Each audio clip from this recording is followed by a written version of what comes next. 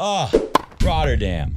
Remember the good old days in Rotterdam? It's hard to believe it's only been five years. I mean, it's already been five years since Roger Federer went down to Rotterdam to reclaim the number one ranking in the world, 2018. Remember that? Not quite enough points to get back to number one when he uh, won the Australian Open that year, his last major. Should have been last major 2019 Wimbledon. But uh, he went down there to clinch it. I think he had to beat Grigor Dimitrov along the way. Someone who looks as smooth as Roger Federer with his strokes many times. Uh, take a look at this. This was one of the best match points you'll ever see in the sport. When you watch Dimitrov, it's kind of like. Excuse no me, that wasn't the match point. That was a little bit of. I think they're both stunned. Nobody can believe it. a little bit of stunning Dimitrov magic. Now, um, I'm going to show you the match point from earlier today that is a wowed and shocked the tennis world. But first, I just wanted to point out, uh, you know, I love watching Dimitrov. It's great to have someone with so much talent still. But every time I watch Dimitrov, especially if he's struggling more than usual, but even when he's playing pretty well, it feels like watching one of those Federer matches where Roger didn't quite have it all there that day, wasn't at his best, and kind of wins ugly, you know? Uh, winning it ugly for Roger includes hitting incredible shots like that one you just saw from uh, Grigor Dimitrov. Always a little bit of magic. Well, this was full of magic today in the match point against the Demon.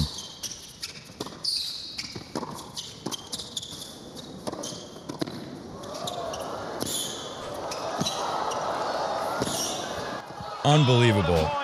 I mean, remember that uh, that shot Federer hit behind him for? I think that one's better. The forehand behind him at the World Tour Finals against Djokovic. Remember that was um you know a highlight reel shot we've seen for years. On match point, I think that tops it. That is one of the best highlights I've ever seen. You see the joy from um from Dimitrov. Speaking of magic, one hand backhand magic. You might have noticed in that uh, rally, uh, Dimitrov's got that nice biting uh, slice backhand. It was uh, one of those points he hits a, a nice biting slice backhand. Tsitsipas, who crashed out of here, doesn't have that, and uh, we'll look at that in a second. But first, take a look at this magical uh, one-hander. Stan the man, a little nostalgia, is back in business and uh and is looking good. He's uh, going deep in this tournament in Rotterdam, so maybe we're going to get a, a pretty interesting final here. We'll see. Tsitsipas is out. Jannik Sinner will be playing Stan uh, probably about right now. By the time you see this video, the match will be uh, already done, but I won't be able to shoot a video later today, so we'll do it now before the match. Anyways, we'll look at the draw and look at the matchups from Rotterdam, but and we'll also look a little bit at Buenos Aires because the last video or one of the recent videos I was talking about who was the other number one year in number one besides um besides Andy Murray other than uh you know the big three and great comment Gary Leon from uh, Lyon, is how you say it? From southern southern France. Uh, you totally forgot Carlos Alcaraz exists. He was the other year in number one besides Andy Murray, and he has an excellent chance to win the French Open. Yeah, I, I would say that. Uh, it's going to be one of those Spaniards in Paris at the French Open this year, unless, of course, Novak Djokovic wins wins it and uh, maybe wins all four in the same year. Here's another comment. Uh, mentally, Alcaraz is way ahead of the others. And going back to uh, the last comment, yeah, it was kind of like, you know, Alcaraz disappeared at a bad time because we didn't see him for the rest of last year after his big uh, achievement in the U.S. Open, really and we haven't seen him at the Australian Open, it's kind of easy uh, to forget. The guy totally disappeared. But don't forget, Rafa, when he started making noise, uh, I can't remember if this is after he won the French Open, the first one, or before. But either way, it doesn't matter. Everyone knew that Rafa was coming. And then uh, he was kind of sidelined for a while. Maybe people could have forgot about him uh, with a fairly uh, serious injury. He was out for a long time. And uh, uh, it must be before because I think that was a lot of people thought he'd have a chance to win the French Open that year when he got hurt and he had to skip it. So maybe he could have won his first there. Maybe it was a good thing he didn't win that first. Uh, he didn't play that first French Open because he wasn't ready to win it yet and comes back the next year and wins it. Anyways, uh, Alcaraz for the next gen. Yes, he is the best and he is the other number one. My apologies for forgetting him. Rob Atkinson also says, don't like this one so much. Still think he won't win a major, talking about Jannik Sinner. Well, he looked uh, pretty good against this year's Australian Open finalist as Jannik Sinner took him out easily, easily in Rotterdam. But Rotterdam is a special court. So let's take a look here. Let's talk about why Rotterdam is uh, such an interesting court. You know, it's the first 500 of the year. All right, who cares about that? But um, you know, not, not every 500 is equal. Not every Masters 1000 is equal. Rotterdam is an interesting tournament every year. Uh, it's an indoor tournament. Uh, you know, when we're we're not going to really see any more indoor tournaments for a long time until uh, we get to after the U.S. Open. So uh, that in itself is interesting, but also the way it plays. It's slow and it is low. Uh, and one of the things that helps is a nice biting slice like a Federer or Dimitrov. And look at that slice. I know. Oh, Take a well look at the close up. It was a good effort on He's the jammed on up the on the serve. I know that makes it a hard time, but that, that's all I got for you right now in footage. Uh, trust me when I tell you, Tsitsipas, even though he's worked on it, even though clearly someone on the team or he himself is thinking it's a good time to hit that slice backhand, just from watching um him in that match against Ruusuvuori, and of course the the match he lost with Sinner, seen a lot of uh, backhand slices that just sit up and float. It's astonishing. This guy is so good. Uh, Tsitsipas had a chance to be number one in the world, had a chance to win the Australian Open. Well, he never really had a chance as soon as Djokovic was on the other end of the court, but you know he's up there at the top of the game, and the guy has a you know. I would say, comment below if you think this is insane. But I'd say I I think I have a better slice backhand. At least mine, I can make mine bite and stay a little lower than uh, Stef Tsitsipas. Now Tsitsipas is obviously where he is because of the big booming serve and the big booming forehand and um, you know some other things too. But let's just uh, let's just point out that this surface maybe not the best for Tsitsipas. Do we read into this result too much? I don't know, but we definitely give a lot of credit to Jannik Sinner, who we talked about last time, being the closest of the next gen to the Joker. And this is a great place for the Joker. It's a great place for Medvedev. Look what he did to Felix Auger Alday Aliassime, who uh, was the defending champion here and is now out fairly early for a defending champion. Uh, you know, you see, oh, uh, Felix Felix Auger hit uh, one more uh, winner on the the winners count, twelve to one. But look at that, more than double in the unforced errors. And on a slow court like this, this is a great place for a Sinner, a Djokovic, or a Medvedev, who you will literally get nothing by. Even though the it's low, you need a, a nice slice to get some opportunity on a low court like this to finish. Uh, one of the things watching Dimitrov, I'll see he'll hit the biting slice, but then he won't set up for that forehand, taking it early and finishing right away the way we'd see Roger Federer. We see Dimitrov trying at times doing it, but not um, not clinical like Roger Federer would do with that. Particularly the slice backhand uh, going up the line. Uh, we'd see Federer hit that a lot, even against guys like Djokovic. You're kind of forced into a rolling. Maybe uh, you'll roll it cross, maybe you'll go up the line. But either way, it's going to be weak, a little slow, and uh, kind of sit up. On a court like this, Felix Auger's uh, big booming topspin forehand. Uh, it's not going to jump up as much like it would on clay. Same for Tsitsipas. It's going to kind of let it sit and hang a little longer. So good to be able to offset that with a really nice backhand slice. Anyway, so you see what Medvedev did on this very slow court to uh, Felix Auger. Uh, impossible to hit through. No surprise that Felix Auger hits a bunch of unforced errors. Now, let's take a look at Grigor hitting that deadly low slice against Hooby Dooby, who he took out, uh, one of uh, Dimitrov's victims here in Rotterdam.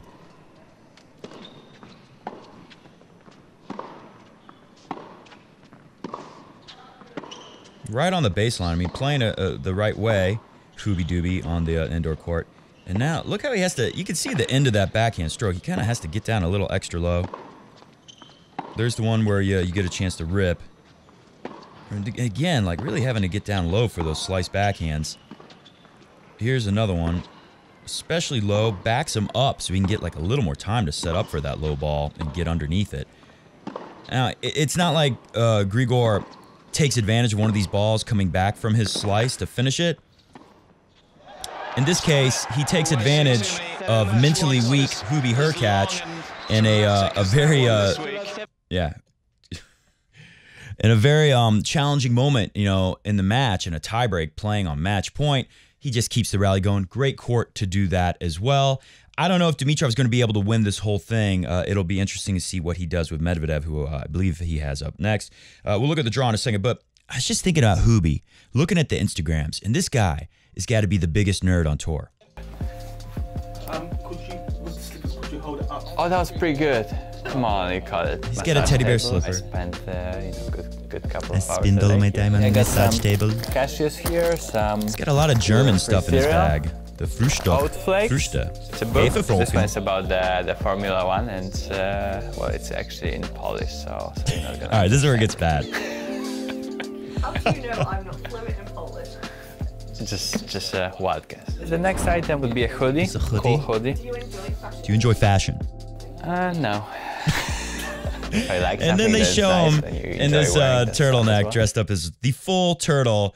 Hubie Hurkacz. But you know, right when I found that, and I thought, oh, I got to make fun of him. He's uh, he's such a nerd in this video.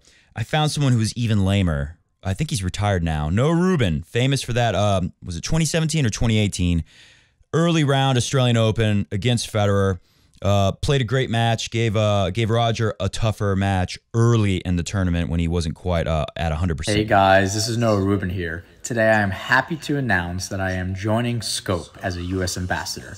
I'm super excited to join the adventure of Scope and be an ambassador of this community first project, which is building a platform for which you guys, tennis fans, the young people sports fans, can trade cringe. NFTs of your favorite athletes and get access NFTs. to Get exclusive the get the get the heck out of here.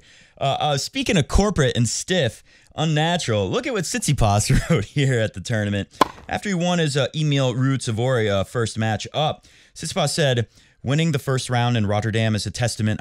I've never really tried a Tsitsipas voice, but I think I could do it at some point. It's a testament to the city's dedication." I'm not going to try right now. To excellence. Its people are hardworking and driven, and that energy is contagious. Uh, pretty, uh, pretty lame. But here was a great comment I saw the other day. When criticizing back at Torino, uh, Torino, God, I don't want to sound like Noah Rubin. I better be careful with that.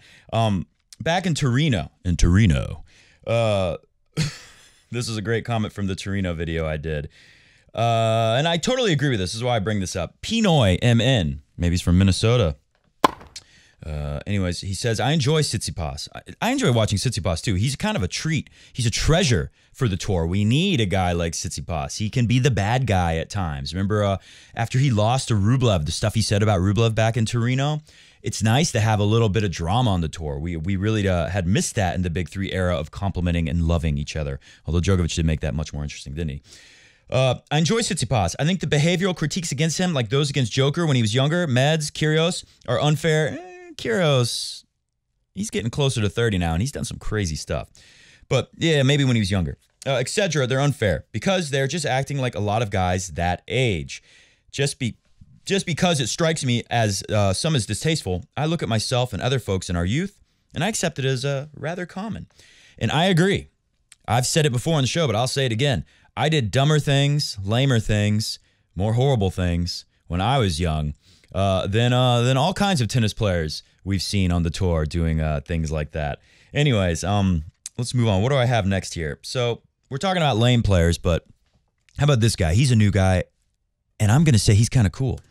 You might know Wu Yi Bing for taking championships, ATP 250 trophies, right? But when you look at his Instagram, you don't see uh, super cringy stuff to make fun of. You see, he's picking up the ladies. Check that out. Wu Yi Bing got himself a trophy and a lady. And I'm talking about a real lady, not a, a plastic comes out of a, uh box from a toy store Barbie doll like lady, like some people on the tour have, coming to a court and screen near you at Netflix. Uh, good thing uh, that that helped with the curse even more. Uh, oh, here's another one. Me and a fan. Me and a fan. And here's the best. Taylor Fritz. I don't want to say he's fake, but he certainly has a very fake girlfriend. And this is the kind of thing she says. This is great. From uh, the Morgue's Instagram. I'm like so emotionally attached to this lip balm right now.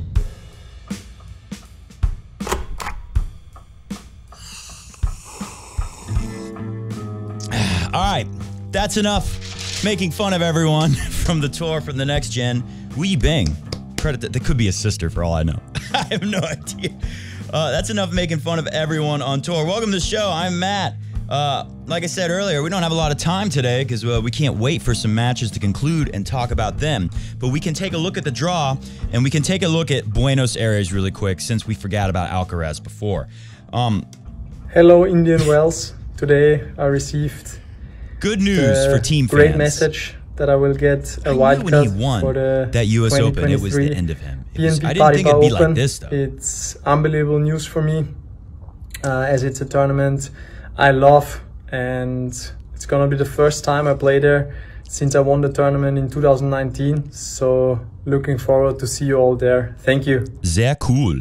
Um, let's take a look at this draw from Buenos Aires. Now, there's Dominic Thiem. Good thing for him, he got the wild card. Where the last time he was there, it's amazing. Remember, in 2020 they canceled it. He wins the U.S. Open in 2020. And at the time, we're thinking like the fact that Joker got pulled out of this tournament, yeah, it was Joker's fault, but also Rafa's not there, Roger's not there, and it just sucks for the tour because you know, like, all right, Joker was so going to win it this year. I mean, he was such a lock. That was one of the biggest locks ever for Djokovic to win a tournament. And uh, Thiem kind of wins this asterisk U.S. Open.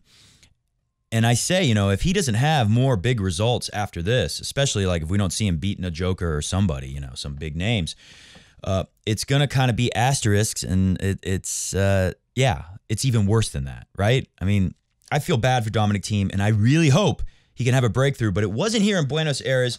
So we'll take a look. Carlos Alcaraz takes down one Serbian Laszlo Djere, and he has to take down another Serbian and Dusan Lajovic, Duzi Lajovic.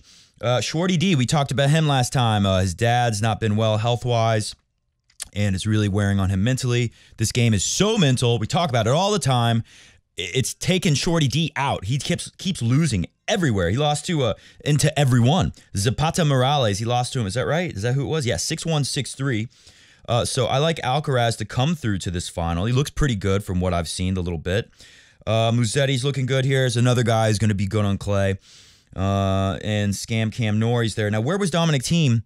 He lost uh, a la Shorty D. He lost to a qualifier. He beat Alex Molcan. All right, good for uh, Dominic Thiem to get a win.